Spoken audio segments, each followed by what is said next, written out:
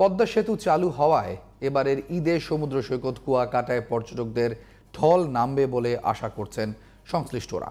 ভ্রমণ প্রেমীদের বরণ করতে প্রস্তুত সাগর কন্যাও। কুয়াকাটার হোটেল মোটেলগুলোতে এরই মধ্যে শেষ হয়েছে বুকিং। জোরদার করা হয়েছে নিরাপত্তা ব্যবস্থা। কুয়াকাটা প্রতিনিধি মনিরুল ইসলামের রিপোর্ট জানাচ্ছেন জান্নাতুল ফেরদৌসি। সৌন্দর্যের অপরূপ লীলাভূমি সমুদ্র সৈকত কুয়াকাটা। সূর্যোদয় ও সূর্যাস্তের নয়ভিরাম দৃশ্যের অবতারণা যেখানে। সমুদ্রে আশ্রে পড়া বঙ্গোপসাগরের ফেনীল ঢেউ দিগন্তজোড়া নীল আকাশ, সবকিছুই যেন উদ্দোলিত করে পর্যটকের মন। কর্মব্যস্ততার অবসরে এমন সৌন্দর্য উপভোগ করতে কার না মন চায়? উচ্ছ্বসিত এই যাত্রায় যদি পার হতে হয় পদ্মা সেতু, তাহলে আনন্দ বেড়ে যায় কয়েক গুণ। ঢাকা থেকে ভোরে যাত্রা করে পদ্মা সেতু হয়ে দুপুরের আগেই পৌঁছানো যায় কুয়াকাটা। আনন্দ উল্লাস শেষে সূর্যাস্ত উপভোগ করে ঢাকা ফেরা যায় রাতে সেই সুযোগই নিচ্ছেন পর্যটকেরা। আমাদের গ্রিন লাইনে বুকিং ভালো আছে।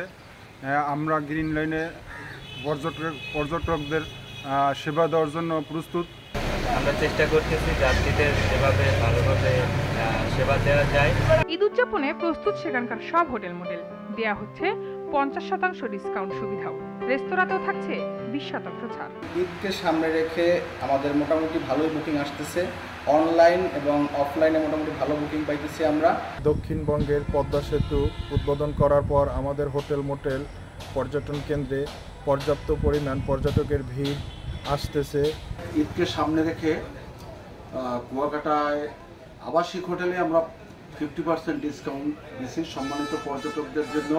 পর্যটকদের আকৃষ্ট করতে সৈকতে নিত্য নতুন পণ্যের পসরা সাজিয়েছেন ক্ষুদ্র ব্যবসায়ীরা। পর্যটকদের নিরাপত্তায় নেওয়া হয়েছে সব ধরনের প্রস্তুতি। পর্যটকদের মানে সার্বিক নিরাপত্তার বিষয়ে মাথায় রেখে আমরা টুরিস্ট পুলিশ কাজ করছি। আমরা আমাদের নিয়মিত টহল আছে আমরা তার পাশাপাশি অতিরিক্ত ফোর্স মোতায়েন করছি। সবকিছু ঠিক থাকলে পদ্মা সেতু পাড়ি দিয়ে এবার সূর্যোদয় ও সূর্যাস্তের বেলাভূমি দেখবে সাগরপ্রেমীরা। এমন প্রত্যাশা ভ্রমণ প্রকাশীদের জান্নাতুল ফেরদৌসি, জিটিভি নিউজ।